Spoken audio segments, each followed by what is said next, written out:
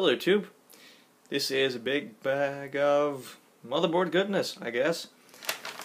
This is one very special motherboard I got in the mail today.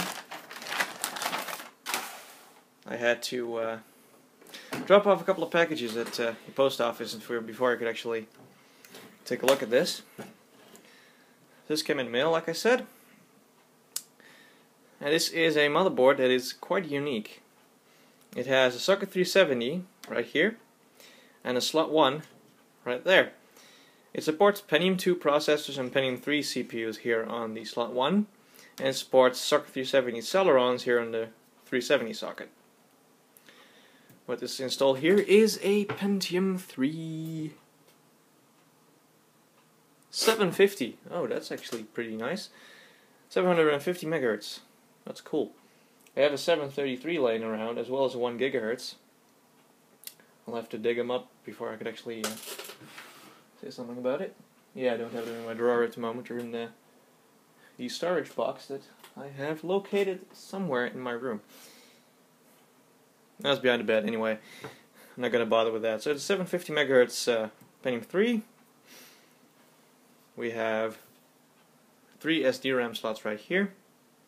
Probably going to put uh, 384 megabytes in there because I have a couple of 128s that I uh, don't use. They came out of my Power Mac G4. We have an AGP 4X slot here.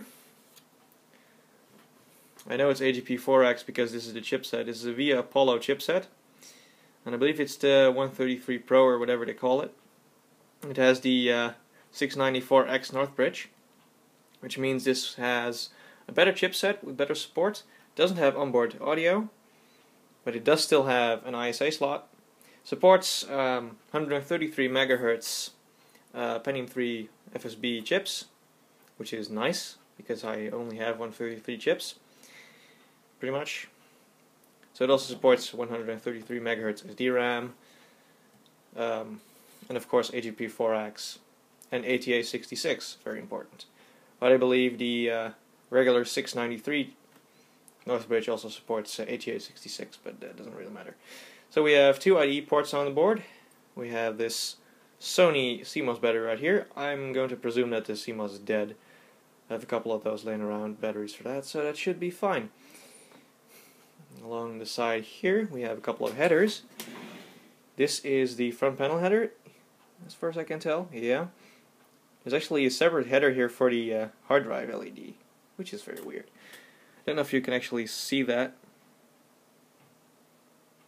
Are we going to get some focus on there? No, we are not. Okay.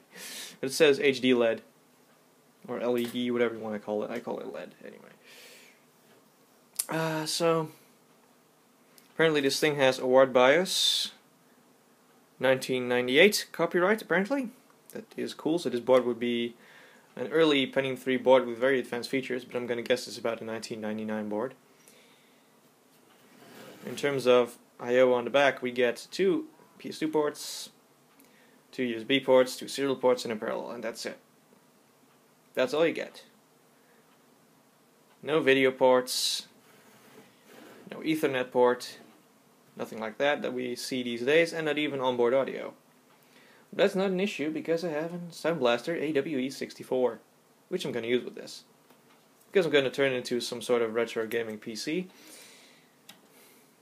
that old HP Vectra of mine should have been that, but that onboard crystal audio just kept giving problems. Even if I put uh, when I put the uh, AWE64 in there, things wouldn't quite improve.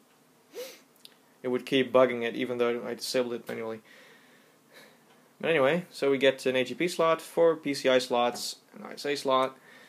There's a floppy header here, just above the first PCI slot, which is a very interesting position, but mm, okay because it's not a really full-size ATX. It's, you know, it is full-size ATX in terms of expansion slots. But in terms of the overall width of the board, I mean, just usually there's like this much extra, like my three fingers right here. Like this much extra on the board. So they could fit the uh, IDE slots, or ports, I should say, around this side of the board. That's not the case here. It's just, you know, pretty slimline board. But it still managed to fit like two sockets on there. Of course, you can only use one at a time but that's just fine with me. And what I really like is that the power, you know, the 20 pin power up here, is on the top of the board instead of along the side. Which doesn't really flex the cable that much if you have a top mounted power supply like I have. So that's pretty cool.